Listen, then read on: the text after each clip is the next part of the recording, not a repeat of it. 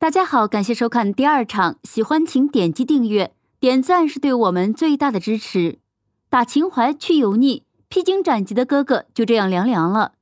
乘风破浪的姐姐，以下简称姐姐之后，凭借着同样的配方，披荆斩棘的哥哥，以下简称哥哥也火了。去油是这档节目给观众的第一印象。在第一期里，嘉宾敖犬问导演组需不需要一些耍帅姿势，导演组回答：不要眨眼睛。不要扭胯，否则剪掉镜头。这成为节目对外输出的首个金句。此前同类型节目《追光吧哥哥》就因为汪东城、陈志朋等艺人的油腻镜头被观众吐槽。时隔半年后，哥哥自然不能重蹈覆辙。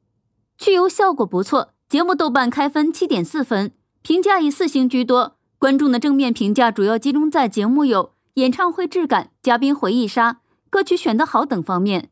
但其中也不乏质疑声，性别依然是这档综艺绕不开的话题。在姐姐中，女艺人一律是单人面试唱跳，观众能直接感受到他们在舞台上的压力；而哥哥直接取消了评委点评打分环节，改为能发挥个人特长的团体演唱，成团名额也由过往的七人变成十七人，淘汰率上大打折扣，削弱了竞争感。姐姐一上来，评委就评头论足；哥哥一来，全变夸夸群。没有姐姐的困难模式，就不要说自己是披荆斩棘。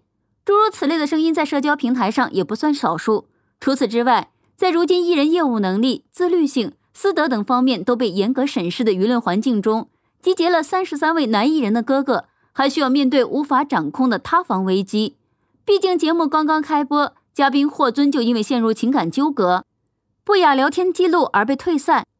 另一位嘉宾热狗也因过往不良经历而被观众诟病。从目前来看，作为一档爆款 IP 的综艺节目，哥哥去油成功，利用情怀牌打开局面。但要披荆斩棘走完一整季，靠去油肯定是不够的，请实力咖打情怀牌。哥哥的去油术。二零二零年末，东方卫视搭上姐姐的余热，率先推出男版节目《追光吧哥哥》，集结中年男艺人再次成团。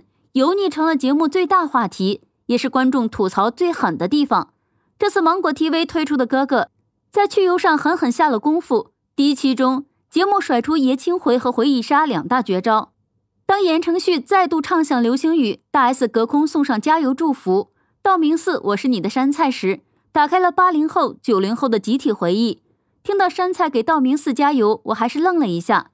豆瓣上网友的这条评论，获得了高票赞。除此之外，陈小春、谢天华、林晓峰三人演唱《友情岁月》，黄贯中组成摇滚团演唱 Beyond 的乐队金曲《不再犹豫》，都触发了大众回忆。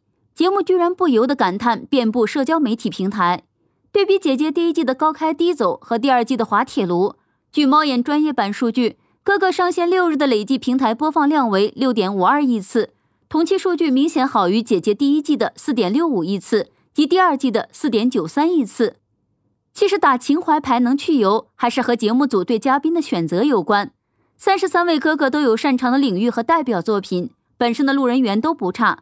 比如中年艺人中，陈小春、谢天华、林晓峰兼具影视歌三栖，黄贯中是摇滚乐队 Beyond 的主吉他手，张琪是黑豹乐队的主唱，都是华语乐坛上具有代表性的人物。年轻艺人中，李云迪是钢琴家，李想、刘佳。在专业舞者竞技节目《舞蹈风暴》里都表现出挑。总之，哥哥涵盖了老牌港星、实力唱将、摇滚明星及演奏家、舞蹈家等，在各自领域具备实力的男艺人。节目本身也更加侧重展现嘉宾正向的一面，初亮相舞台都是依据个人特色量身定做，最大限度的避免油腻。嘉宾的实力保证了节目的可看性，也让观众更愿意宽容。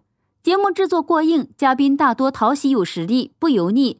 粉丝春春说，这是他被节目吸引的主要原因。在社交媒体上，这样的声音不在少数。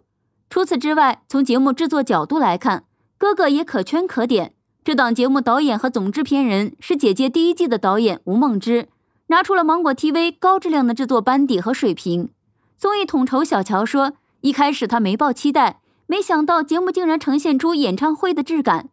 就第一期，整个舞台的舞美和灯光都是一流的，特别是嘻哈歌手布瑞吉演唱《爱就爱了》时呈现的云端舞美，视觉上很有代入感，非常惊艳。综艺导演卷卷说：“哥哥在制作、嘉宾、题材上的确具有一档好综艺的基因。哥哥换了一套比赛逻辑，去油只是第一步，借鉴姐姐的优点，进行契合哥哥的调整是第二步。很明显，哥哥借鉴了一些姐姐的节目模式，比如请来中年哥哥们来分组公演，进行 PK、组团出道，人物上侧重群像刻画，同时会记录人物相处的摩擦，制造戏剧冲突和话题。第二期。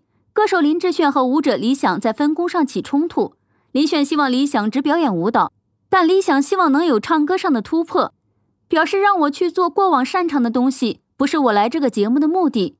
网友各占一方，观点不一。而在第一期中，JAI 找陈小春告状，称林晓峰说不认识、不记得布瑞吉，是不尊重我的小弟弟。此片段一出，相关话题上了热搜，微博阅读话题达到一点二亿。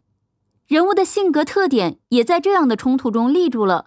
目前最出彩的是陈小春、张智霖等组成的大湾区五人组，几个人互相调侃，兄弟相处的日常赢得网友的好评。但不同的是，在编剧匆匆看来，从节目剪辑风格侧重点可以发现，姐姐时期更注重个体差异和侧写，而哥哥很明显侧重团队作战，甚至 CP 向组合展现兄弟情。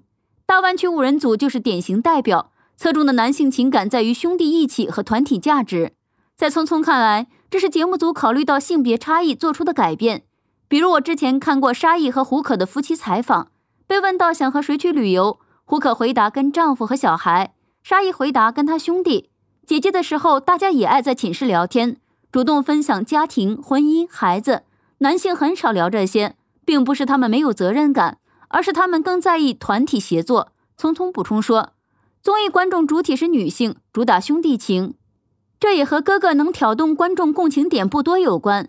一位业内人士就提到，哥哥节目的难点在于男性对于困境的共情能力比不上女性，所以在具体内容上，节目立意也完全颠覆。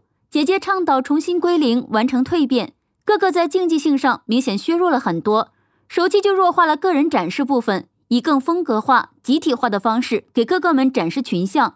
将镜头更多的聚焦在回归、怀旧，甚至个人辉煌经历的内容上。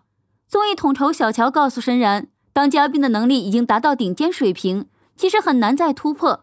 如果节目主线再去强调竞争和勤奋，可看性并不大。所以节目不再强调竞技性，比起姐姐的确柔和了很多。基于选角上的成功，哥哥们本身也有作品加持，节目也更侧重展现嘉宾的魅力，抛出笑点。观众对节目的好感自然会提升上去。